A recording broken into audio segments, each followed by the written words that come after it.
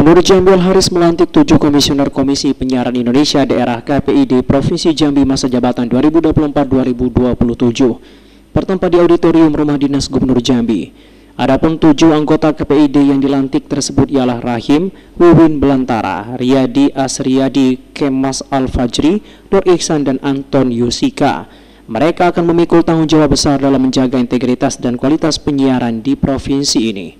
Hadir dalam kesempatan tersebut Komisioner KPI Pusat sekaligus Koordinator Wilayah Provinsi Jambi Amin Sabana. Gubernur Al-Haris mengatakan proses perjalanan Komisi Penyiaran Indonesia di era telah dapat menempatkan dirinya pada posisi peran yang sangat strategis dalam memberikan kontrol dan pengawasan terhadap substansi penyiaran.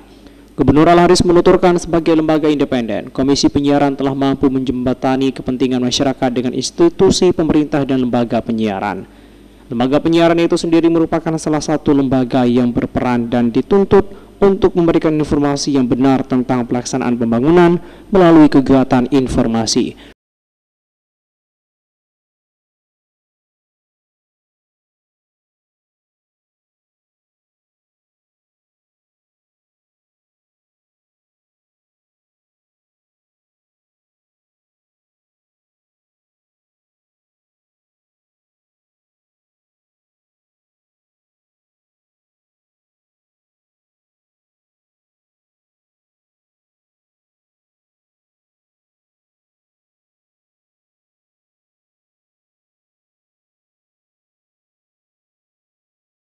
Uh, media yang kami hormati, alhamdulillah pada sore hari ini telah melantik seluruh komisioner KPID dan juga hadir KPI pusat ya ke Jambi yang juga langsung menyaksikan acara pelantikan ini.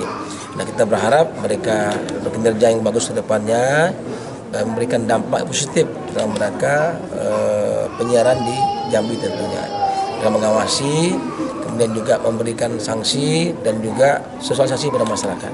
Nah, intinya adalah kita berharap tugas mereka sangat membantu pemerintah ke depannya.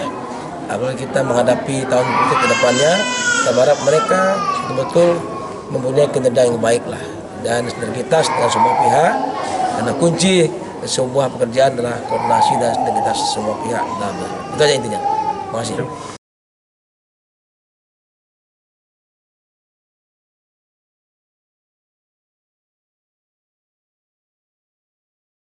Dari Jambi, Reza Finariski, Bunga TV.